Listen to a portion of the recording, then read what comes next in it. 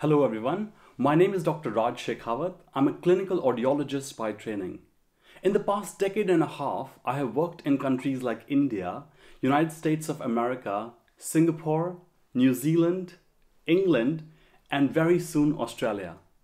Based on my experience working in schools, clinics, hospitals, universities, private practice, there's one thing I have noticed worldwide, and that is people tend to underestimate the significance of hearing.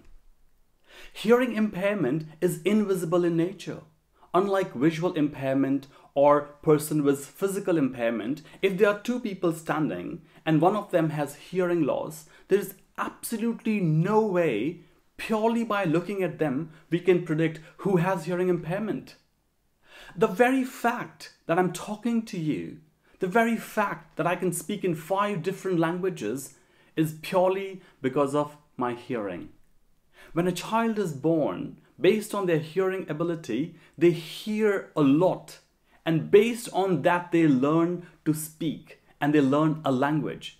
Not only speech and language development, all the other spheres of our lives are also dependent on our hearing. The moment we get up from the bed using an alarm, hearing dependent. We get up and we go to work, our commute, hearing dependent. Our, our work life, interacting with colleagues, hearing dependent. Education, attending lectures, interacting with peers, hearing dependent. Entertainment, watching movies and watching TV and listening to music, hearing dependent. Hearing is extremely, extremely important, and everything around us depends on hearing. In fact, hearing can heighten our emotional encounters too. Let me share this very recent encounter of mine with you all. One of the most strongest emotions I have ever experienced in my life was tears of joy, as they say in Hindi, khushi ke aansu. Two months back, precisely on 30th of June, 9:13 night, my wife went into labor. We rushed to the hospital, and after intensive 12 hours of labor, 9:29 in the morning on 1st of July, our son George Yashraj was born. I can very vividly remember his head crowning, then his beautiful face coming, and then the whole body. And then he cried. Oh boy, tears went rolling down my cheeks. It's so amazing that a cry of a newborn is capable of evoking such strong emotions in us. However, when I put my audiologist hat on, I can probably understand why that happens to us. Basically, the auditory area and the emotional area in our brain, the part of our brain which processes sounds and the part of the brain which processes emotions are linked together. And that is why when we hear a nice, soothing favorite song of ours, we instantly feel relaxed and calm. Contrary to that, if we hear a sound of an ambulance or a police siren, it evokes distressing feelings. That's because the emotions and hearing, they are connected to each other. To understand this, let's do an activity together. I want you all to close your eyes. Go ahead, close your eyes with me. Now, I want you to think about the most exciting day of your life till today. Relive that day in your mind. Go through that day. That could be your day of your wedding, the day your child was born, you won some award, you got some good news, or your time with your loved one. Just keep replaying that moment, that day, those conversations in your mind. It's beautiful, isn't it? Now, I want you to keep your eyes closed, but this time, you are again replaying that very same incidents But there's a catch. And the catch is this time you can't hear anything at all. You can't hear any conversations, any sounds. Let it sink in. Go back, replay that day, but this time you can't hear a thing. What do you think? Do you think your day was as exciting as it was when you could hear everything? I would leave you to answer that question to yourself. That signifies the importance of hearing in our lives. Let's talk about our magical hearing. Hearing is one of the first sensory organs to develop. In fact, during the very first trimester of pregnancy, hearing starts developing. By the time the little baby is 16 weeks old in the mother's womb, the baby can detect the sound. And by the time the baby is 24 weeks old, the baby can sort of start turning their heads towards the source of the sound. Sound is everywhere in the environment. When a sound is created, there are vibrations which are created. There are sound waves which are created in the environment. And when those sound waves travel towards our head, this part here, we call it pinna. The purpose of this part is to filter, to act as a funnel, to receive the sounds, and then direct the sounds to our ear canal. When sound waves pass through the ear canal, they reach our eardrum and they impinge on the eardrum. As a result of that, the eardrum vibrates. And there are three very tiny bones which are attached to our eardrum on one side and on the other side they're attached to this snail shaped spiral structure called cochlea which is filled with salty water. Now that's the part where real magic happens. Almost on the size of our thumb there are thousands of hair cells in the cochlea, which converts the vibration energy of sounds into electrical impulses. And then these electrical impulses are carried by a nerve, auditory nerve, all the way to human brain where the sounds are processed. Let's understand the importance of these hair cells in our cochlea although they are magical and they do this very significant part of converting the sound impulses into electrical impulses, they are also very delicate and prone to damage. And once they are damaged, there's absolutely no way we could regenerate them in humans. So they are very, very precious. Let me show you something. These are various colorful pipe cleaners beautiful colorful ones. They represent our hair cells, okay? And my hand here, it represent the sound level or the sound waves. Now see carefully, the sound waves are coming and they hit the hair cells and the hair cells are processing those sounds and they're converting them into electrical impulses which then go to the brain, okay? When the sound level is mild to moderate, the hair cells are fine, they are dancing around, they look healthy, they look fine. However, imagine the sound levels are really, really loud. Let's see what happens then. Watch carefully. Loud sound level comes and goes like bang, bang, bang, bang, bang, bang, bang, bang, bang, bang, bang, bang, bang. See what has happened to our hair cells. Let's try and bring them back to where they were. Mm. No. Once damage, damage for good. Damage forever.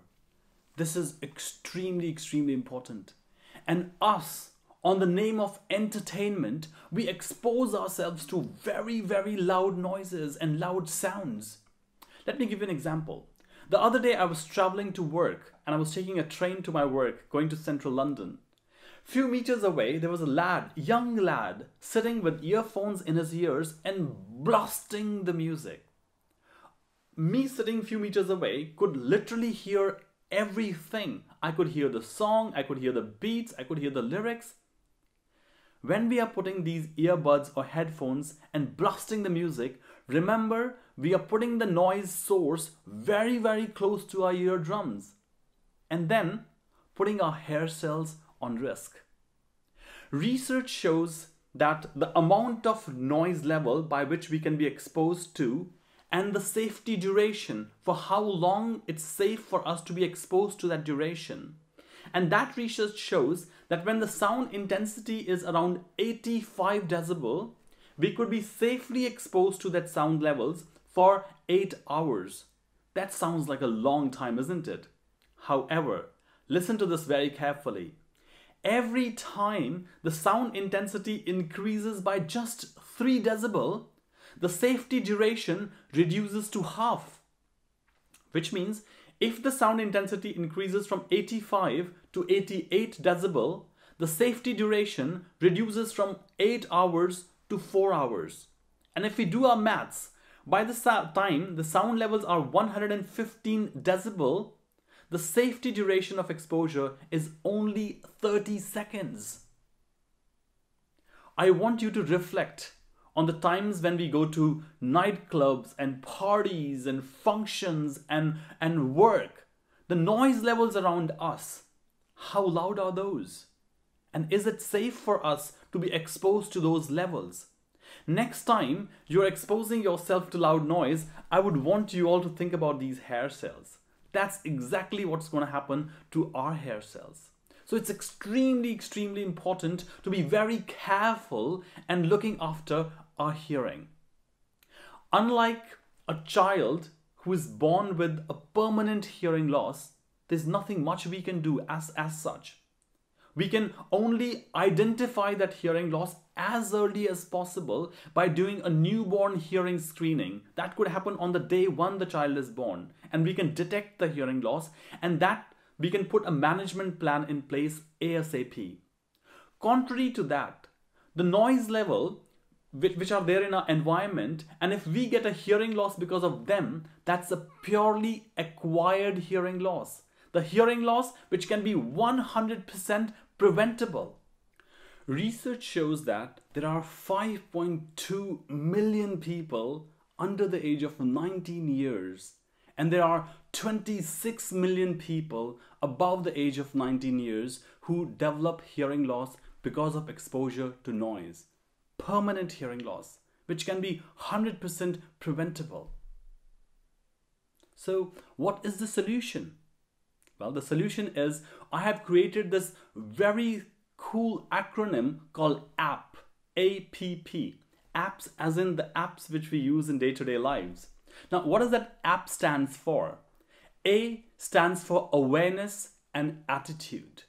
It's extremely, extremely important for all of us to be aware about the dangerous impact of noise and sounds on our hearing. There are a lot of people who are not even aware that unknowingly they are exposing themselves to dangerous levels of noise and it can lead to permanent hearing loss. So, a talk like this is a tiny attempt to create that awareness.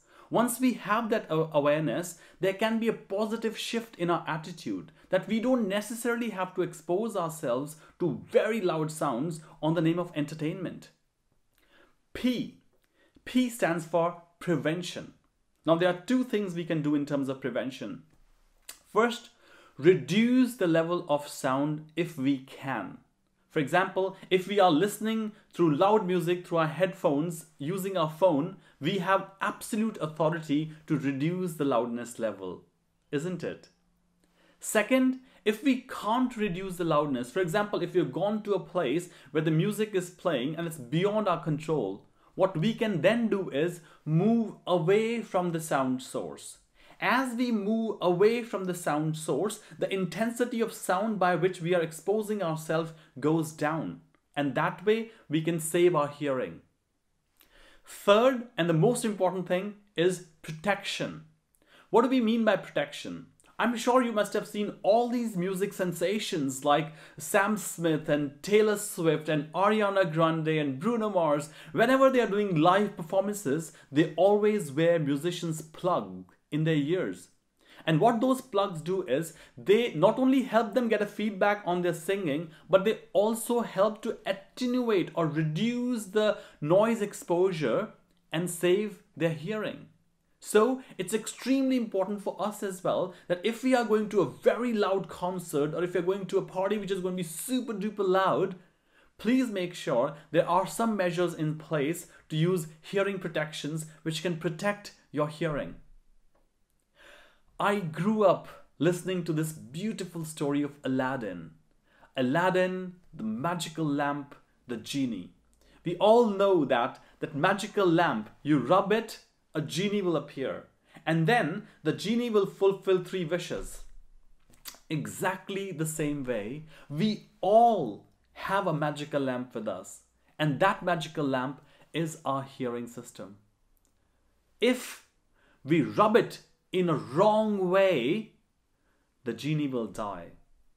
And once the genie will die, all the magic of hearing, the fact that we can hear birds chirping, the fact that we can hear rustling of leaves, we can hear the voices of our loved ones, we can hear our newborn baby cry, which will evoke tears of joy.